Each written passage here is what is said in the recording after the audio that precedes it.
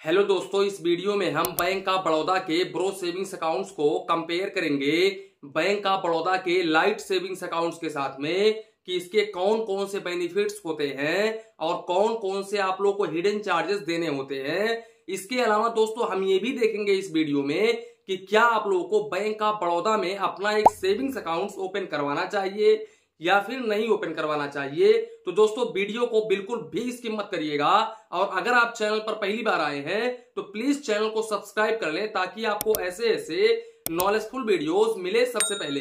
तो चलिए इसी के साथ में वीडियो स्टार्ट करते हैं। दोस्तों जानकारी के लिए हम आप लोगों को बता दें कि bank of Baroda government sector का बैंक है। इसके अलावा दोस्तों अगर हम पैसे सुरक्षित होने की बात करें तो बैंक ऑफ़ बड़ौदा ही नहीं, बल्कि इंडिया में जितने भी बैंक होते हैं सभी के सभी बैंक डीआईसीजीसी से इंश्योर होते हैं। डीआईसीजीसी का पूरा नाम है deposit insurance credit guarantee corporation जो कि आरबीआई की एक सब्सिडी बॉडी है, जिसके अंतर्गत हर बैंक के हर कस्टमर को पाँच लाख रुपए तक का इंश्योरेंस बिल्कुल फ्री में प्रोवाइड किया जाता है। दोस्तों, अगर आप बैंक ऑफ़ बड़ौदा में कोई भी सेविंग्स अकाउंट या फिर करंट अकाउंट ओपन करवा लेते हो और बैंक ऑफ़ बड़ौदा अपने लाइफ में कभी भी डूब जाता है तो ऐसे केसेस में आप लोग का पाँच लाख रुपए तक का अमाउंट बिल्कुल आसानी तरीके से मिल जाएगा। इसके अलावा दोस्तों, बैंक ऑफ़ बड़ौदा में आप लोगों को मोबाइल बैंकिंग इंटरनेट बैंकिंग का भी फैसिलिटीज़ देखने को मिल जाता है। हालाँकि बैंक ऑफ़ बड़ौदा का बीओबी वर्ल्ड एप्लीकेशन को लेकर के कंट्रोवर्सी अभी भी चल रहा है। अभी भी आरबीआई का इस पर कोई भी अपडेट नहीं है। तो बीओबी वर्ल्ड एप्लीकेशन के ऊपर मैं कुछ बात नहीं कर पाऊँगा। इस वीडियो में। इसके अलावा दोस्तों, अगर आप बैंक ऑफ़ बड़ौदा में लाइट सेविंग्स अकाउंट ओपन करवाते हो या फिर ब्रो सेविंग्स अकाउंट ओपन करवाते हो तो दोनों ही सेविंग्स अकाउंट के ऊपर bank of Baroda, chequebook, passbook, ATM card offer करता है। दोस्तों, अगर हम एलिजिबिलिटी क्राइटेरिया को डिस्कस करें तो यहाँ पर आप BOB lite savings account ten year से अपना अकाउंट ओपन करा सकते हैं। हालाँकि जब आप टेन ईयर से अपना एक सेविंग्स अकाउंट ओपन करवाते हैं तो ऐसे केसेस में वो अकाउंट पूरी तरह से माइनर के कैटेगरी में होता है और उसको पेरेंट्स मेंटेन करते हैं। वहीं पर दोस्तों, अगर हम बीओबी ब्रो सेविंग्स अकाउंट्स की बात करें तो बीओबी ब्रो सेविंग्स अकाउंट्स को ओपन करवाने के लिए आपका जो एज है वो 16 से 25 इयर्स होना चाहिए, तभी आप इस अकाउंट्स को ओपन करवा सकते हैं। अदरवाइज़ आप इस अकाउंट को ओपन नहीं करवा पाएँगे।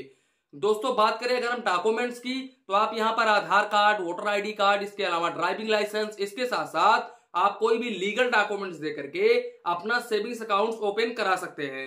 इसके साथ साथ दोस्तों, अगर हम रेट ऑफ़ इंटरेस्ट को डिस्कस करें तो आप बैंक ऑफ़ बड़ौदा में कोई भी सेविंग्स अकाउंट ओपन करवाते हो, बैंक ऑफ़ बड़ौदा आप लोगों को 2.75 परसेंट पर एनम का रेट ऑफ़ इंटरेस्ट ऑफ़र करता है। और वहीं पर अगर आप वन ईयर का एफडी ओपन करवाते हो तो ऐसे केसेस में बैंक ऑफ़ बड़ौदा 6.85 परसेंट पर एनम का रेट ऑफ़ इंटरेस्ट ऑफ़र करता है। और अगर आप सीनियर सिटीजन के कैटेगरी में आते हैं तो ऐसे केसेस में bank of Baroda seven point three five percent पर एनम का रेट ऑफ़ इंटरेस्ट ऑफ़र करता है। दोस्तों, ये रेट ऑफ़ इंटरेस्ट मैं जिस टाइम पर वीडियो शूट कर रहा हूँ, उस टाइम का है इंटरेस्ट रेट कम ज़्यादा होता रहता है। तो हो सकता है जब आप लोग वीडियोस देख रहे हो, उस टाइम पर इंटरेस्ट रेट बढ़ गया हो या फिर कम हो गया हो तो हम यहाँ पर कुछ कह नहीं सकते हैं।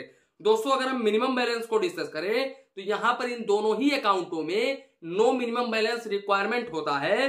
हालाँकि बैंक ऑफ़ बड़ौदा ने बीओबी लाइट सेविंग्स अकाउंट्स के ऊपर यह क्लियर किया है कि अगर आप बीओबी लाइट सेविंग्स अकाउंट्स में एक भी रुपीज़ मिनिमम बैलेंस मेंटेन नहीं करते हो तो यहाँ पर आप लोगों को डेबिट कार्ड के ऊपर एनुअल चार्जेस देना होगा।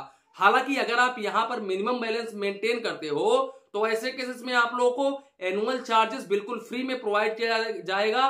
डेबिट कार्ड के ऊपर आपको कोई भी चार्जेस नहीं देना होगा। दोस्तों, अब एक हिसाब से अगर हम डिस्कस करें तो मान लो यहाँ पर बैंक का बड़ौदा का मिनिमम बैलेंस चार्जेस है दो सौ पचास रुपए। यहाँ पर रुपए प्लेटिनम का चार्जेस है तीन सौ प्लस जीएसटी यानी कि टोटल तीन सौ चौवन रुपए। अब यहाँ पर अगर हम इस हिसाब से देखें तो मेरा सजेशन ये रहेगा दोस्तों कि आप मिनिमम बैलेंस मेंटेन करके रखो। क्योंकि अगर आप मिनिमम बैलेंस मेंटेन नहीं करते हो तो ऐसे केसेस में आप लोगों को डेबिट कार्ड के ऊपर एनुअल फ़ीस तीन सौ चौवन रुपए देना पड़ेगा, जबकि यहाँ पर मिनिमम बैलेंस चार्जेस आपको एक भी रुपीज़ नहीं देना है। वहीं पर अगर आप मिनिमम बैलेंस मेंटेन करते हो तो ऐसे केसेस में यहाँ पर डेबिट कार्ड चार्जेस ये तीन सौ चौवन रुपीज़ बिल्कुल फ्री हो जाएगा। यहाँ पर आपको कोई भी चार्जेस नहीं देना होगा। तो इस बात को लेकर के आपके मन में कोई भी कंफ्यूजन या फिर डाउट नहीं होनी चाहिए। इसके अलावा दोस्तों, अगर हम ब्रो सेविंग्स अकाउंट्स की बात करें तो ब्रो सेविंग्स अकाउंट्स में नो मिनिमम बैलेंस रिक्वायरमेंट होता है। यहाँ पर इस तरह का term conditions bank of Baroda ने अपने वेबसाइट में नहीं लिखा है। इसके अलावा दोस्तों, यहाँ पर अगर हम चेकबुक को डिस्कस करें तो यहाँ पर बीओबी लाइट सेविंग्स अकाउंट्स के ऊपर आप लोग को थर्टी पेज का चेकबुक पर फाइनेंशियल ईयर बिल्कुल फ्री में प्रोवाइड किया जाता है। वहीं पर ब्रो सेविंग्स अकाउंट्स के ऊपर अनलिमिटेड चेकबुक आपको प्रोवाइड किया जाता है बिल्कुल फ्री में। इसके अलावा दोस्तों, अगर हम एसएमएस अलर्ट चार्जेस को डिस्कस करें तो यहाँ पर बीओबी लाइट सेविंग्स अकाउंट्स के ऊपर आप लोगों को पंद्रह रुपए plus GST per month charges देना होता है। हालाँकि ये पहले पर क्वार्टर था, लेकिन अब इसको इंक्रीज करके पंद्रह रुपए प्लस जीएसटी पर मंथ कर दिया है बैंक ऑफ़ बड़ौदा ने।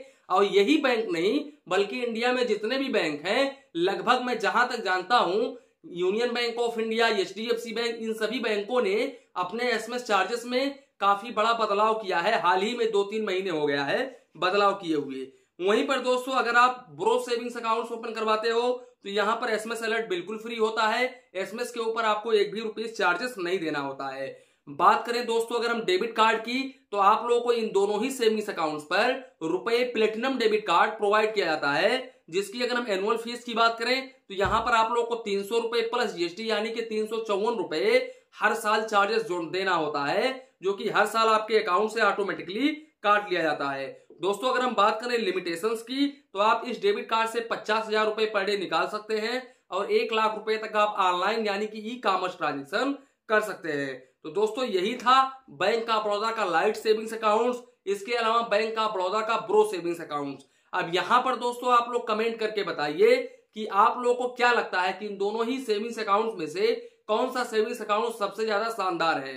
दोस्तों, अगर आप मेरी खुद की ओपिनियन मांगोगे तो मैं यहाँ पर आप लोगों को यह कहूँगा कि बैंक ऑफ़ बड़ौदा का ब्रो सेविंग्स अकाउंट सबसे शानदार सेविंग्स अकाउंट है दोस्तों, क्योंकि लाइट सेविंग्स अकाउंट्स के ऊपर कुछ लिमिटेशंस बैंक ऑफ़ बड़ौदा ने लगा रखा है। जैसे कि यहाँ पर आप लोगों को एसएमएस अलर्ट के ऊपर चार्जेस देना होता है। चेकबुक आप लोगों को अनलिमिटेड नहीं दिया जाता है। इसके अलावा दोस्तों, यहाँ पर इन्होंने मिनिमम बैलेंस चार्जेस पर भी टर्म कंडीशंस लगाया है कि अगर आप मिनिमम बैलेंस मेंटेन करते हो तो ऐसे केसेस में आप लोगों को डेबिट कार्ड के ऊपर कोई भी चार्जेस नहीं देना होगा। अदरवाइज़ आपको डेबिट कार्ड के ऊपर चार्जेस देना होगा। तो यहाँ पर कुल मिलाकर के देखें तो मेरी ओपिनियन ये रहेगी कि बैंक ऑफ़ बड़ौदा का ब्रो सेविंग्स अकाउंट्स काफ़ी शानदार सेविंग्स अकाउंट्स है। वैसे दोस्तों, ये बैंक काफ़ी अच्छा बैंक है, लेकिन अगर आप अभी अपना सेविंग्स अकाउंट ओपन करवाना चाहते हो तो अगर आपको ज़रूरत है इंटरनेट बैंकिंग की तो ही आप यहाँ पर अपना एक सेविंग्स अकाउंट ओपन करवाओ। अगर आप चाहते हो कि मैं इंटरनेट बैंकिंग यूज़ नहीं कर पाऊँगा मोबाइल बैंकिंग के ज़रिए कोई भी ट्रांजेक्शन करूँगा तो मेरा रिकमेंडेशन ये रहेगा कि आप अभी बैंक ऑफ़ बड़ौदा में कोई भी सेविंग्स अकाउंट मत ओपन करवाओ।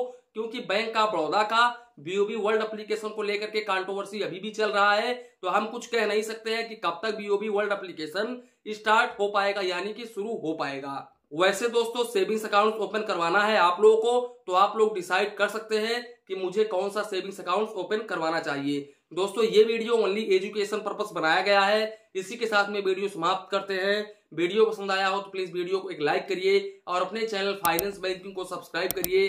मन में कुछ डाउट हो कंफ्यूजन हो तो प्लीज़ कमेंट करिए। धन्यवाद, मिलते हैं नेक्स्ट वीडियो में।